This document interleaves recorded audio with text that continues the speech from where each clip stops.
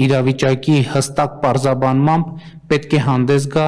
Լեռնային Ղարաբաղում Ռուսաստանի Դաշնության խաղաղապահ զորախումբը եւ Ռուսաստանի Դաշնությունը, որը անվտանգային կոնկրետ պարտավորություններ է ստանձնել Լեռնային Ղարաբաղի ժողովրդի առաջ։ Որն է իրադրության Ռուսաստանի Դաշնության գնահատականը,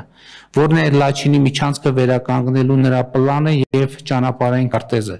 Սրանք հարցեր են, որոնց պատասխանները Հայաստանի Հանրապետության եւ Լեռնային Ղարաբաղի Հանրությունը սպասում է Ռուսաստանի Դաշնությունից, որը հիշեցնեմ նաեւ ՄԱԿ-ի անվտանգության խորհրդի մշտական անդամ է։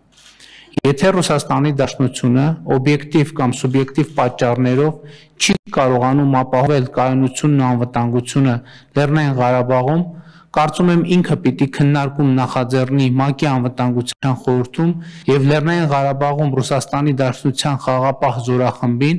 ՄԱԿ-ի անվտանգության խորհրդի մանդատով օժտելու կամ Լեռնային Ղարաբաղ լրացուցիչ բազմազգ խաղապահ զորախումբ ուղարկելու հարց բարձրացնի։ Նման հարցադրում ծագում է նաև այն պատճառով, որ Լաչինի միջանցքի փակումը Ադրբեջանի կողմից Լեռնային Ղարաբաղում Ռուսաստանի Դաշնության խաղապահ զորախմբի պատասխանատվության գոտի ներխուժելու առաջին դեպքը չէ։ Սրան նախորդել են Փարուխի իրադարձությունները 2022 թվականի մարտին եւ Խծաբերդի իրադարձությունները 2020 թվականի դեկտեմբերին, որի հետևանքով Հայաստանի Հանրապետության շուրջ 3 տասնյակ քաղաքացիներ շարունակում են մնալ գերեվարված։